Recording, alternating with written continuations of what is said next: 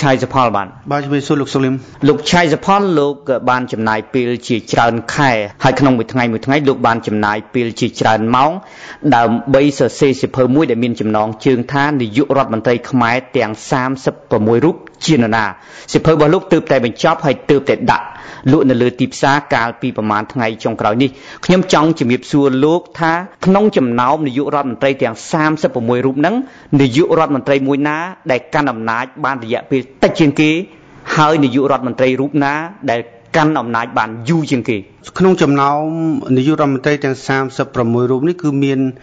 លោកអៃជីអ៊ុនគាត់គឺជានាយករដ្ឋមន្ត្រីបានតែមួយសប្តាហ៍ទេគាត់គឺជាសមាជិកគណៈបកសង្គមរាស្ត្រនិយមដែលរបស់សម្ដេច នរោត្តមសីហនុអញ្ចឹងនៅពេលដែលឆ្នាំនោះនៅពេលដែលសភាត្រូវរំលាយអញ្ចឹងរដ្ឋាភិបាលក៏ត្រូវបានរំលាយអញ្ចឹងលោកអាយុនេះគឺត្រូវបានព្រះមហាក្សត្រតែងតាំងធ្វើជានាយករដ្ឋមន្ត្រីប៉ុន្តែក្រោយមកគឺ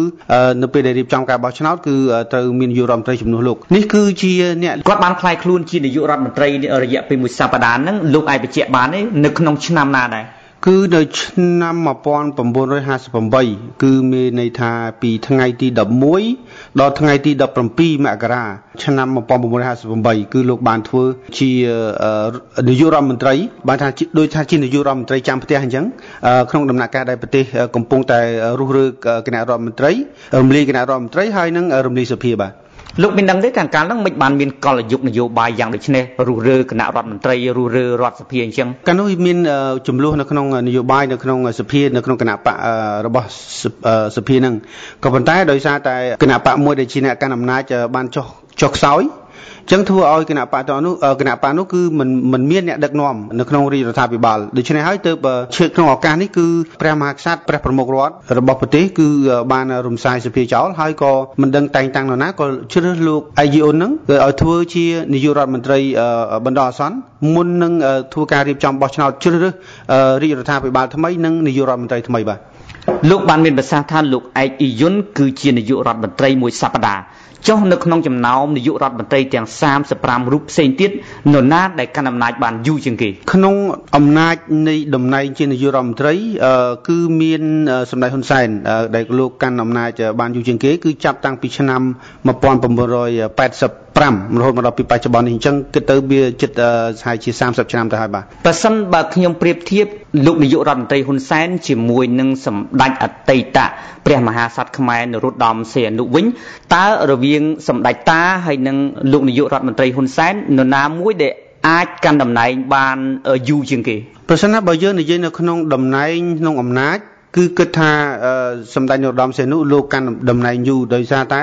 នេះយើងមិនមែនគិតតំណែងជានាយករដ្ឋមន្ត្រីទេប៉ុន្តែយើងគិតថាស្ថិតនៅក្នុងអំណាចជាងនៅក្នុងអំណាចគឺព្រះមហាក្សត្រព្រះអង្គលោកសោយរាជនៅឆ្នាំ1942មកអញ្ចឹងតាំងពីព្រះអង្គមានប្រជជន9ព្រះវស្សាអញ្ចឹងរហូតមកដល់ព្រះអង្គចូលនិវត្តន៍នៅឆ្នាំ2004នេះប្រសិនណាបើយើងគិតពីអំណាចតំណែងនៅក្នុងអំណាចគ្រប់គ្រងរបស់ប្រទេសក៏ប៉ុន្តែបើគិតអំពីទូនាទីនាយករដ្ឋមន្ត្រី សម្ដេចហ៊ុនសែនគឺមានរយៈពេលយូរជាងក៏ប៉ុន្តែសម្ដេចហ៊ុនសែនគាត់ធ្វើជាបន្តបន្ទាប់គឺបានថាគាត់ធ្វើ ពីឆ្នាំ1985រហូតមកដល់បច្ចុប្បន្នគឺគាត់នៅតែជានាយករដ្ឋមន្ត្រីរហូតមកក៏ប៉ុន្តែចំពោះសម្ដេចនរោត្តមសីហនុព្រះអង្គធ្វើជានាយករដ្ឋមន្ត្រីចំនួន10លើកបើថាគាត់ចេញចូលចេញចូលនៅពេលដែលរុះរើគណៈរដ្ឋមន្ត្រីនៅមានវិបត្តិនយោបាយគឺថាគណៈរដ្ឋមន្ត្រីនឹងបានរំសាយចោលហើយព្រះអង្គបានឡើងធ្វើជានាយករដ្ឋមន្ត្រីបណ្ដោះអាសន្នមុននឹងរៀបចំគណៈរដ្ឋមន្ត្រីថ្មីអញ្ចឹងសរុបមកវិញគឺបាននិយាយអំពីតំណែងនាយករដ្ឋមន្ត្រីគឺសម្ដេចហ៊ុនសែនគាត់ធ្វើបានច្រើនជាងសម្ដេចនរោត្តមសីហនុ ក៏ប៉ុន្តែបើគិតជាច្រកដាក់ដងចំនួនដង គឺសម្ដេចសីហនុគឺលោកធ្វើ10ដងឯណោះលោកបានមានប្រសាសន៍ ថាលោកនាយករដ្ឋមន្ត្រីកាន់តំណែងជានាយករដ្ឋមន្ត្រី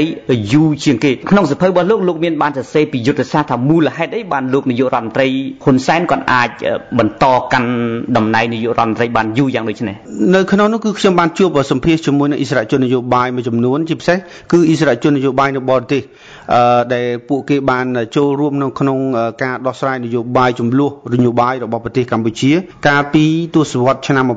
1990ជាការពិតនៅក្នុងសៀវភៅរបស់ខ្ញុំខ្ញុំមិនបានធ្វើការវិនិច្ឆ័យធ្វើការវិតម្លៃវិភាគថាតើនាយករដ្ឋមន្ត្រីនេះធ្វើបែបនេះល្អឬក៏ធ្វើបែបនោះល្អទេគ្រាន់តែខ្ញុំលើកពីចំណុចមួយចំនួនដែលថានេះគឺជាចំណុចដែលកើតឡើងចេះហើយចំណុចអវិជ្ជមានគឺវាអញ្ចេះអញ្ចឹងឯការវិភាគថាតើវាជារឿងល្អឬអាក្រក់គឺវាអាស្រ័យទៅលើមិត្តអ្នកអានបាទនៅក្នុងសៀវភៅហ្នឹងខ្ញុំឃើញថា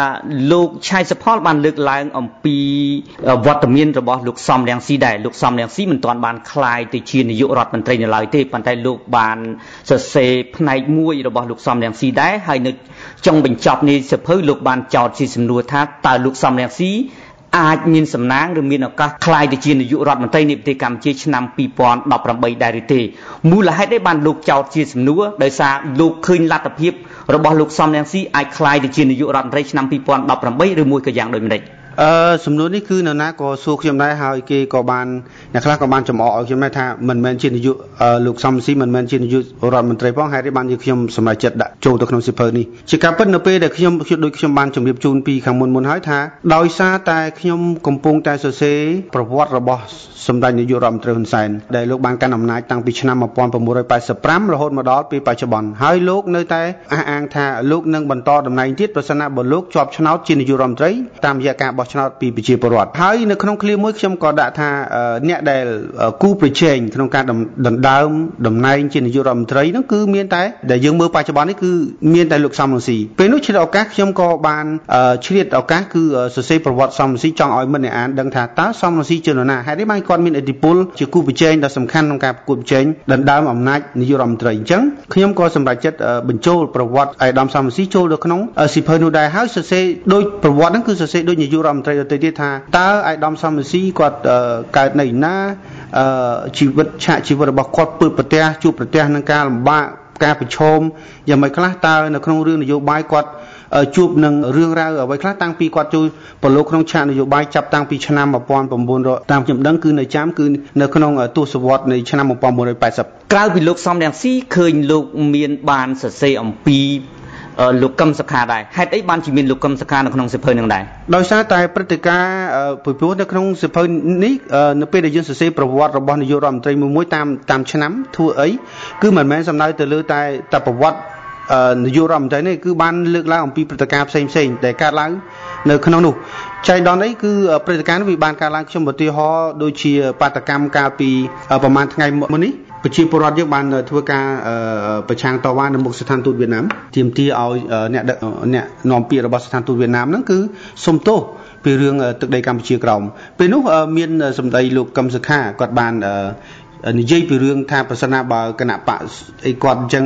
ឈ្នះឆ្នោតគឺគាត់នឹងឲ្យដូចជាធ្វើអត្តសញ្ញាណប័ណ្ណដល់ឲ្យប្រជាពលរដ្ឋនៅកម្ពុជាក្រោមអញ្ចឹងហេតុការណ៍នេះវាវាត្រូវគ្នាអញ្ចឹងខ្ញុំក៏បានដាក់សម្ដីរបស់កម្មសិក្ខាចូលទៅក្នុងប៉ុន្តែมันបាននិយាយអំពីប្រវត្តិរបស់លោកកម្មសិក្ខាទេបាទដោយសារលោកចំណាយពេលជាច្រើនខែដើម្បីធ្វើការសិក្សាទៅលើលក្ខណៈសម្បត្តិ គុណវិបត្តិរបស់នាយករដ្ឋមន្ត្រីមួយមួយបន្ទាប់ពីលោកសរសេរហើយលោកមានមានអារម្មណ៍ថាតើលោកអាចថាមិនថាចូលចិត្តទេប៉ុន្តែអាចថាពេញចិត្តនរណាគេជាងគេក្នុងនាមជានាយករដ្ឋមន្ត្រីនៃប្រទេសកម្ពុជាយើងចាប់តាំងពីឆ្នាំ1945ដល់ឆ្នាំ2014យើងនេះជាការពិតណាស់គឺអិសរាជជននយោបាយទាំង36រូបហើយបើបូកជាមួយនឹងលោកសំស៊ីទៀតគឺនៅក្នុងមានអិសរាជជននយោបាយ37រូបពួកគាត់គឺមានចំណុចល្អនិងចំណុចវិជ្ជមាននិងអវិជ្ជមានរៀងៗខ្លួនរឿងការស្រឡាញ់ក្នុងនាមខ្ញុំជាអ្នកនិពន្ធខ្ញុំទៅតែព្យាយាមនៅកណ្ដាលខ្ញុំមិនអាចវិយតម្លៃថាតើខ្ញុំពេញចិត្តនាយករដ្ឋមន្ត្រីណាទេក៏ប៉ុន្តែខ្ញុំគ្រាន់ខ្ញុំបានលើកនៅក្នុងសិភៅនោះហើយអញ្ចឹងមិត្តអ្នកអានអាចដឹងថាតើតាមរយៈនៃប្រវត្តិជីវប្រវត្តិទាំងការសិក្សាទាំងជីវិតឯកជនក៏ដូចជាការឡើងកាន់អំណាចហើយការសមិទ្ធផលដែលគាត់ធ្វើគឺ ពិតជាអាចនឹងដឹងថាតើនាយករដ្ឋមន្ត្រីណាដែលល្អជាងគេខ្ញុំចង់ចូលទៅក្នុងជីវិតឯកជនរបស់នាយករដ្ឋមន្ត្រីម្នាក់ម្នាក់បន្តិចចង់ជំរាបសួរលោកថាប្រហែលជាអាចមាននៅក្នុងប្រវត្តិអ្វីដែលលោកបានសរសេរហ្នឹងនាយករដ្ឋមន្ត្រីណាដែលមានប្រពន្ធអាចថាច្រើនជាងគេទៅចុះបាទនៅក្នុងសភៅនេះបាទតាមខ្ញុំចាំគឺមានខ្សែរាជវង្សមាន2 3អង្គព្រះអង្គគឺមានព្រះជាយាបាទមានមានភរិយាមានដល់ទៅ5អង្គដល់ទៅជា8អង្គភរិយាហ្នឹងអាចជាខ្សែខ្សាត់ផង ជាខ្សែរាជផងអញ្ចឹងមាននាយករដ្ឋមន្ត្រីជារាជមានប្រពន្ធច្រើនដែរអត់ទេអឺដូចជាមិនមានទេបាទអត់ជាទូមានមានម្នាក់ពីរនាក់ដែរប៉ុន្តែតាមរយៈនៃការភរិយារបស់គាត់ស្លាប់ក៏ប៉ុន្តែខ្សែរាជវង្សមើលទៅគឺមិនមិនស្លាប់ទេគឺថាគាត់មានយកជាបន្តបន្ទាប់អញ្ចឹងហើយមានកូនជាបន្តបន្ទាប់ខ្លះក៏មានខ្លះក៏អត់ចឹងដែរបាទខ្ញុំចង់ដឹងចំណង់ចំណូលចិត្តរបស់នាយករដ្ឋមន្ត្រីនីមួយៗលោកមិនអាចរៀបរាប់ទាំង36 37អ្នកនឹងបានទេប៉ុន្តែមាននាយករដ្ឋមន្ត្រីណាដែលលោកគិតថាគាត់ចូលចិត្តចំណង់របស់គាត់នឹងទៅលើមហោបអាហារទៅលើកីឡាមានលក្ខណៈពិសេសដែលលោកចងចាំនៅក្នុងខួរក្បាលរបស់លោកក្នុងពេលដែលលោកបាននឹងកំពុងសរសេរអាយដាមប៉ែនសវណ្ណខ្ញុំបានទូរស័ព្ទទៅសួរគាត់ហើយអាយដាមអឹងហួតខ្ញុំបានជួបគាត់ប៉ុន្តែម្នាក់ម្នាក់គឺមានចំណងចំណូលចិត្តរៀងខ្លួនខ្ញុំបានសួរថាតើចូលចិត្តមហូបអីអាយដាមឬក៏ព្រះអង្គចូលចិត្តមហូបអី